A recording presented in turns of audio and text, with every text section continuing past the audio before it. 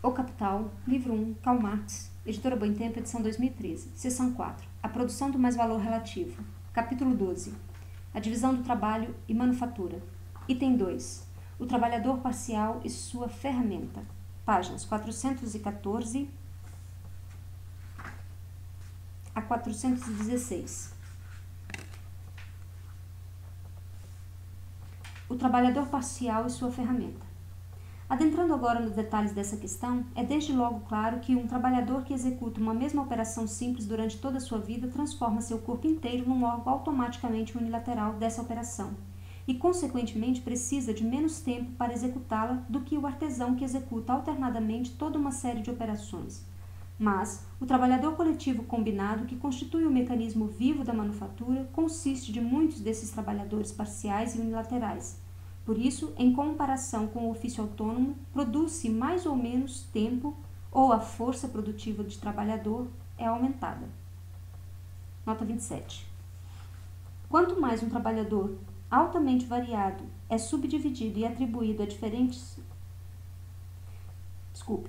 Quanto mais um trabalho altamente variado é subdividido e distribuído ou atribuído a diferentes trabalhadores parciais, tanto mais ele tem necessariamente de ser executado melhor e mais depressa, com menos perda de tempo e de trabalho. Londres, 1720, página 71. Também, o método do trabalho parcial se aperfeiçoa depois de estar autonomizado como função exclusiva de uma pessoa, como a experiência o demonstra, a contínua repetição da mesma ação limitada e a concentração de atenção nessa ação ensinam a atingir o efeito útil visado com o mínimo de dispêndio de força mas como diferentes gerações de trabalhadores convivem simultaneamente e cooperam nas mesmas manufaturas, os artifícios técnicos assim obtidos se consolidam, se acumulam e são transmitidos com rapidez. Nota 28.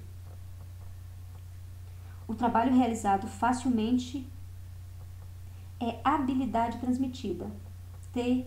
Rodgiskin, página 48.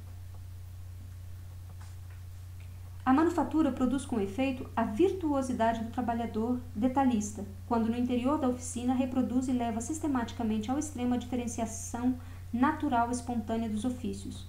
Por outro lado, sua transformação do trabalho parcial em vocação da vida de um homem corresponde à tendência presente em sociedades anteriores de tornar hereditários ofícios, petrificá-los em castas ou, no caso de determinadas condições históricas, produzirem nos indivíduos uma variabilidade em contradição com o sistema de castas, ossificá-los em corporações.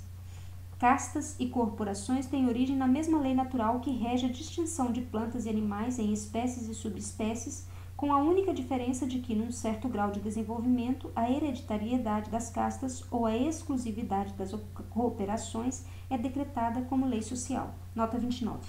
No Egito, também as artes alcançaram o devido grau de perfeição, pois somente nesse país os artesãos não podem intervir de modo algum nos negócios de outra classe de cidadãos, e assim devem apenas seguir a vocação que, por lei, é hereditária em sua tribo.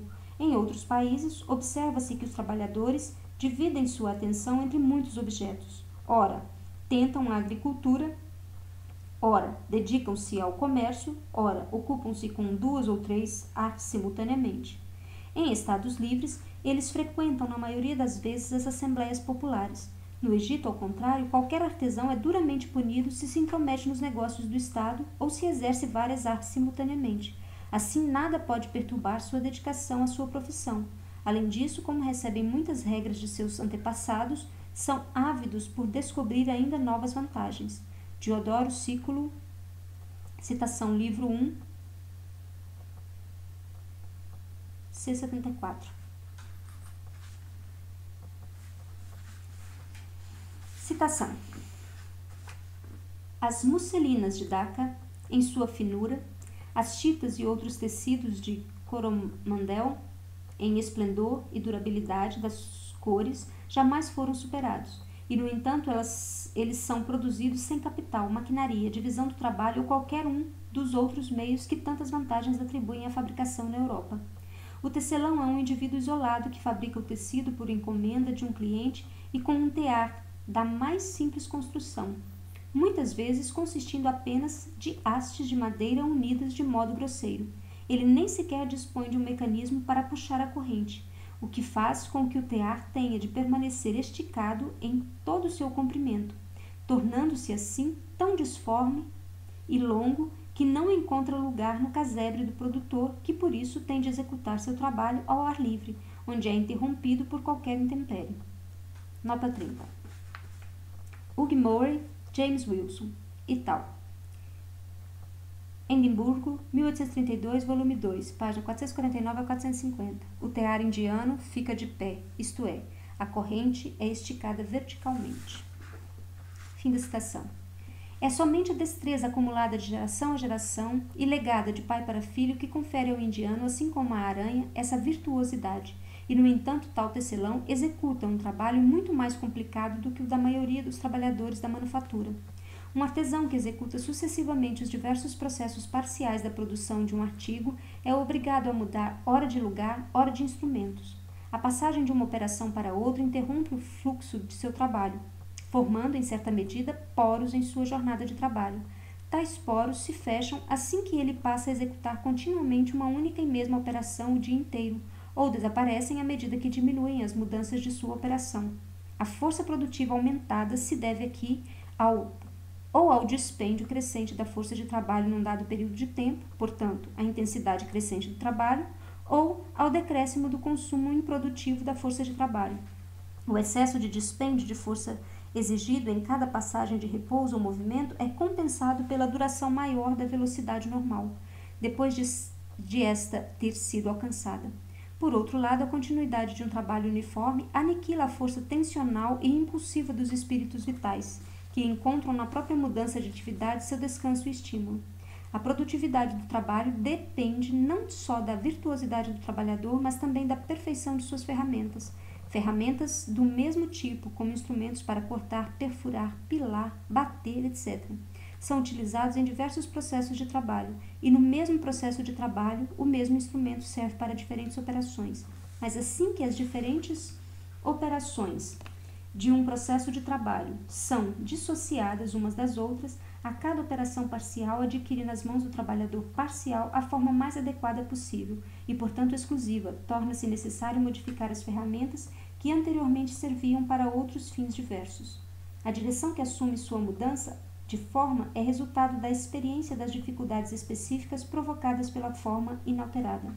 A diferenciação dos instrumentos de trabalho, por meio do, da qual instrumentos do mesmo tipo assumem formas particulares e fixas para cada aplicação útil particular, e sua especialização, que faz com que cada um desses instrumentos especiais só funcione em toda a plenitude nas mãos de trabalhadores parciais específicos, caracterizam a manufatura. Apenas em Birman são produzidas cerca de 500 variedades de martelos, e muitas delas servem não só a um processo particular de produção, mas com frequência a diferentes operações no interior de um mesmo processo. O período de manufatura simplifica, melhora e diversifica as ferramentas de trabalho por meio de sua adaptação às funções específicas e exclusivas dos trabalhadores parciais. Nota 31. Em sua marcante obra A Origem das Espécies, Darwin observa com relação aos órgãos naturais das plantas e dos animais Dado que um mesmo órgão tem de executar diferentes trabalhos, pode-se talvez encontrar um motivo para sua variabilidade no fato de a seleção natural preservar ou suprimir cada pequeno desvio de forma menos cuidadosa do que seria o caso se o mesmo órgão fosse destinado apenas a uma finalidade particular.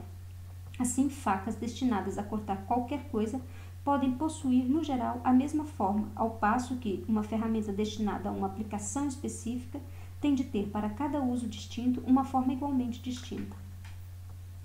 Com isso, ela cria ao mesmo tempo uma das condições materiais da maquinaria que consiste numa combinação de instrumentos simples.